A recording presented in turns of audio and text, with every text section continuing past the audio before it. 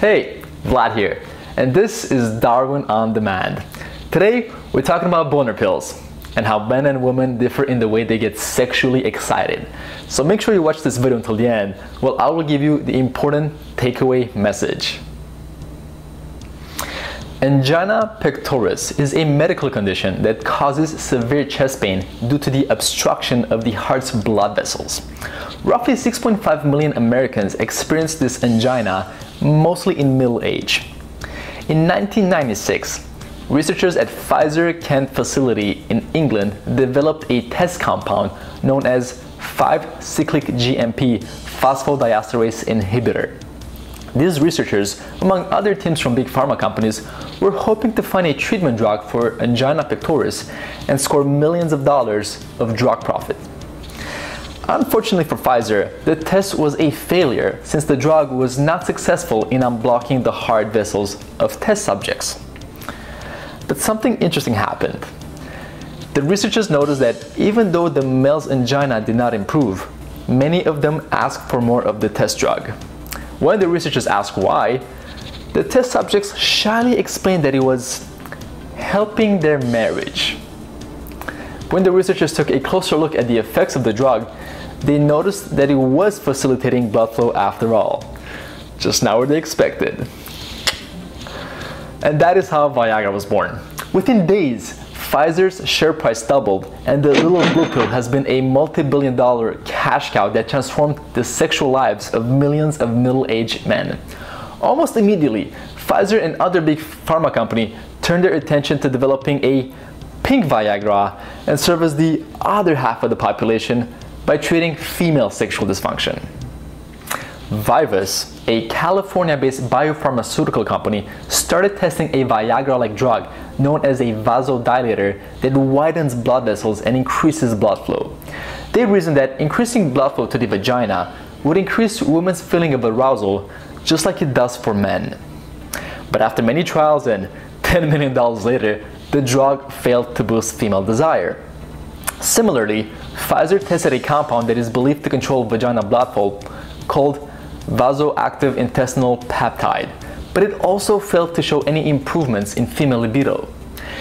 So despite the potentially colossal financial reward of creating a female Viagra, drug companies simply could not figure it out.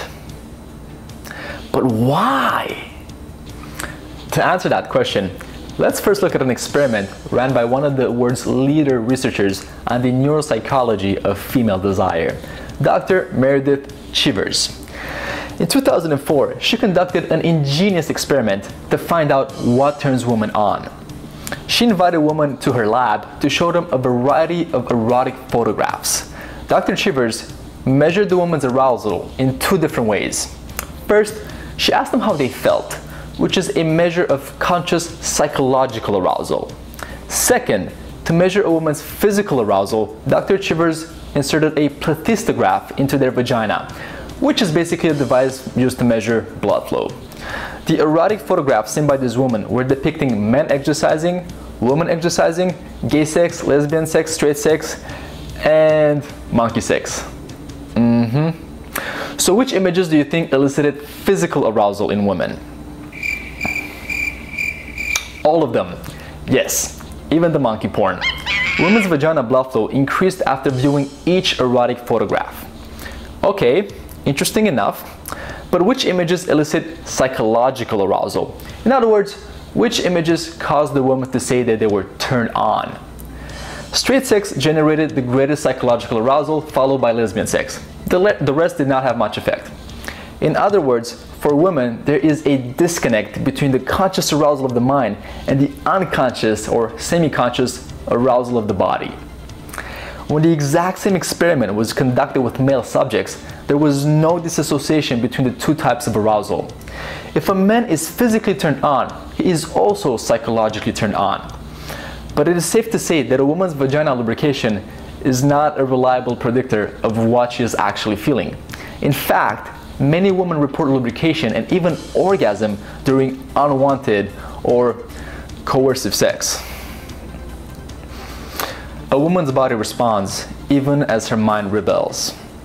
In contrast, if a man is erect, you can make a pretty good guess of what's going on in his head. By the way, ladies, I would love to hear your take on this.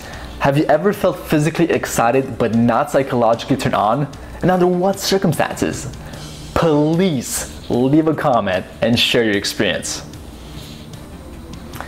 So that is the profound difference in the brain software of men and women, which explains why the pharmaceutical industry failed to create a pink version of the blue pill. Blood flow is enough to turn men on. Women, on the other hand, have a more sophisticated process. Ironically, the drug with the greatest process of improving female libido resulted from a failed attempt from solving a different problem. Yes, just like the discovery of Viagra. A German drug maker was trying to develop a fast-acting antidepressant. Although the drug failed in phase 3 trials, researchers find that it resulted in a surging libido for female subjects.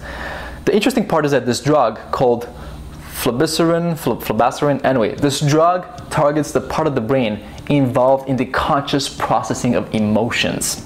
In other words, it operates by stimulating not the body, but the conscious mind. So what is the big takeaway? Well, it is important to realize that unlike the average male brain, the average female brain has a more elaborate process of getting turned on. Just because us guys are simple in our preferences, it does not mean that women are the same. Within seconds of meeting a woman, a guy will know whether or not he would enjoy sleeping with her. A woman, on the other hand, needs to take a bit more time to judge the guy's character, his personality, and how other people perceive him. While men's sexual desire is largely driven by their penis, a woman's sexual desire is largely dictated by her emotions. So guys, instead of focusing so much on flexing those muscles, it is perhaps wise to sharpen up your personality.